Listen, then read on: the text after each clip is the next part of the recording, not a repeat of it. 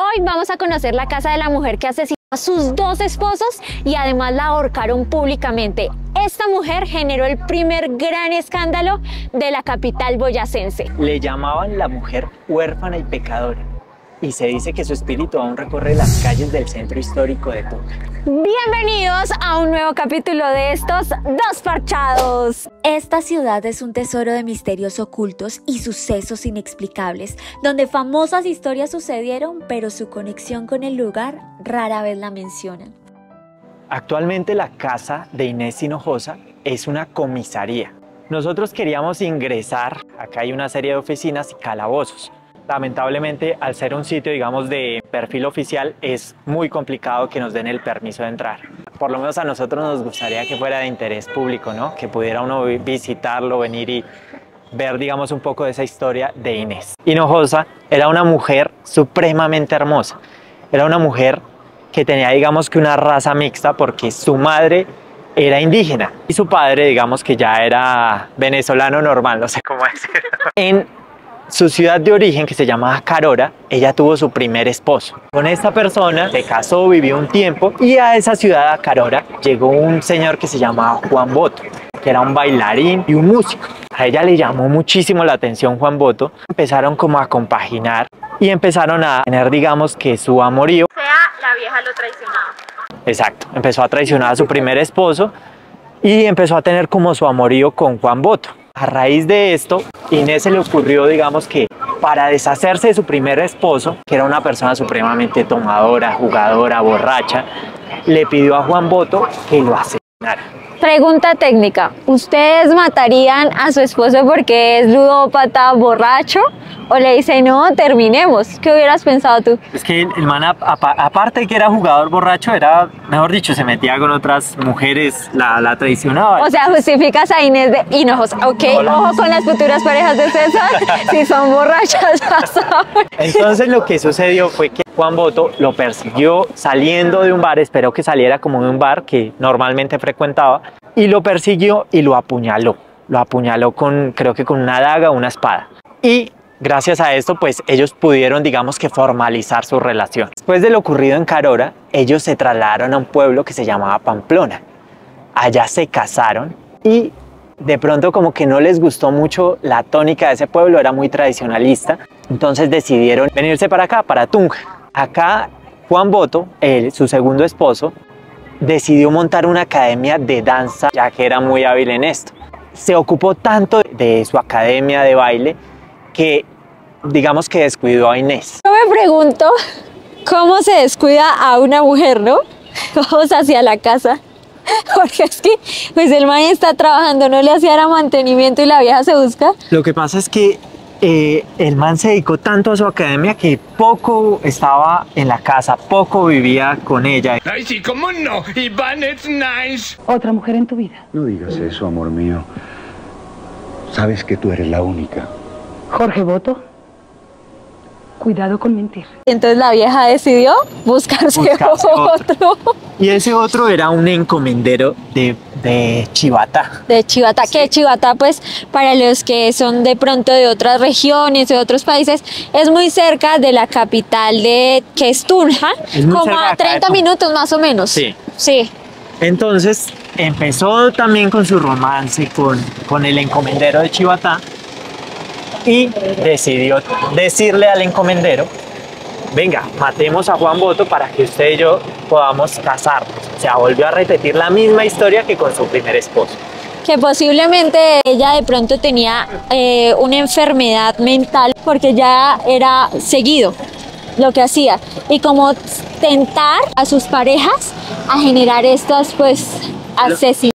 Lo que pasa es que como la primera vez que lo había hecho salió invicta, o sea, no se supo que ella había matado, bueno, no lo mató a ella, había sido la asesina intelectual. O sea, una manipuladora porque hizo que el mozo lo matara al esposo. Sí. Entonces le dijo al encomendero, junto a dos personas, un primo del encomendero, creo que era un primo del encomendero, y otra persona que era un sacristán o algo así, que eh, mataran a, su, a Juan Boto, al bailarín. Entonces a raíz de esto, pues ellos empezaron a, planear, digamos, su asesinato. ¿Cómo mataron a, a Juan Boto, le dijeron que iban a ir a donde unas chicas, ¿sí? Vamos a ir a donde unas chicas, vamos a salir con ellas. Y pues el bailarín accedió a salir con estos tres tipos que lo querían matar, ¿sí? Entonces se fueron por allá a un sitio que supuestamente estaban las chicas y a traición lo mataron ellos tres. Cada uno le propinó una puñalada. Lo curioso de esto es que este crimen sí se supo. Inés tenía una sobrina, o bueno, su media hermana o lo que fuera. Esa sobrina era una persona, digamos, que no había tenido una vida tan cómoda con ella y decidió delatarla, ¿sí? Entonces la delató y gracias a ese testimonio de la sobrina fue que supieron todo lo que ella había hecho, no solo con su segundo esposo, Juan Boto, sino en el, con su primer esposo en Jarón. Bueno, algo que también es súper importante es que hay varias teorías, varios escritos. Por ejemplo, yo escuché otro donde el mozo, el segundo mozo, se, ah, se quedó en un cuarto escondido y mató al esposo. Hay varias teorías, hay varios escritos. Hasta hay una serie, una novela que hizo hace mucho tiempo, Amparo Grisales, Margarita Rosa de Francisco.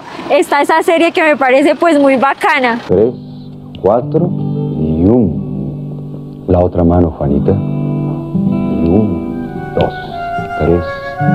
Lo que sucede es que, digamos que, que relaten ese- esta historia que les estamos contando de, de Hinojosa, existen tres textos principales, ¿sí? Son como los tres textos de donde se ha sacado diferentes teorías. Muchas coinciden en puntos específicos, que es principalmente lo que les estamos comentando, pero otras difieren un poco. Exacto, entonces es un relato un poco antiguo que, que genera eh, como una tradición oral primero, que genera también algo como varias especulaciones, también entra como la parte del homicidio, que empezó a ser como algo que no se había visto en ese momento, que una mujer hiciera esto, pues porque se vivía mucho el machismo y todo eso. Y acá, mira, acá ya llegamos Acá ya llegamos a la casa. a la casa que es muy cerca de la Plaza de Bolívar es acá, derecho, derecho, derecho y acá está la casa. Bueno, aquí ya llegamos a la casa y se dice que acá antes había un arrayán gigantesco, un árbol que se llama un arrayán. Y en ese árbol ahorcaron a Inés. Justo enfrente de su casa, que era esa, esa casa de acá. La ahorcaron y ella tenía un perro. El perro ladró, ladró, ladró constantemente hasta que los últimos restos de Inés fueron devorados por los chulos, por los, por los pájaros, ¿sí? Entonces, esa es la historia, digamos, de, de su espíritu. Se presume que a veces van personas caminando por esta cuadra que se llama la, la calle del árbol y logran escuchar todavía los aullidos del perro y a veces ven la figura de Inés en el árbol ahorcada y se ven como llamas alrededor de, de su figura. Sí, se ve la sombra, es que es más que todo la sombra de ella en el árbol, como por decir acá, generar esto. Y al, al mozo que después fue, le- al mozo que le, ¿cómo fue la cosa? El último mozo, a él lo degollaron, ¿sí? Mientras que la sobrina pues quedó libre y se casó con el que les colaboró a matar el, al esposo, al bailarín. Y los cómplices del último mozo, como lo dices tú, eh, a uno también lo ahorcaron junto a Inés. Eh, al, al mozo, como tú dices, lo degollaron. Y, al, y el otro sí logró escapar. Uno Fue el que se sí quedó con escapar. Juanita. Se llamaba Juanita. ¿Sí? Bueno, No, así se llamaba en la serie. Era como el sacristán o algo parecido, que fue el que primero huyó y logró huir. O sea, no, no bueno, estas son teorías, no nos Todo crean esto- todo. Somos dos parchados que salimos a parchar por acá. Bueno, gente, y este fue un capítulo más de estos dos parchados. No olviden suscribirse, dejarnos su comentario. Y nos vemos en un próximo capítulo de estos dos parchados.